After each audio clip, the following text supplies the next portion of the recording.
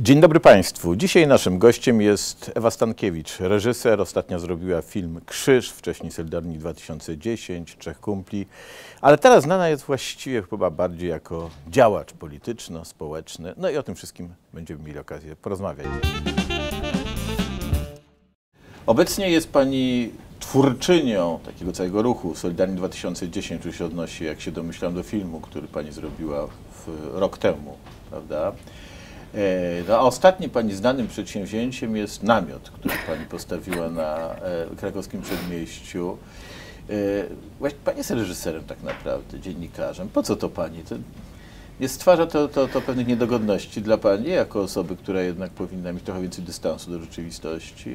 No, stwarza ogromne niedogodności. Ja tutaj nie, nie, zamierzam narzekać, no bo jestem świadoma tego, co robię. Natomiast po co to mi? No, to był odruch właściwie. To znaczy, nie mogę dłużej yy, znieść tego, że yy, rząd polski zachowuje się jakby w ogóle nie, nie kierował się interesami naszego kraju.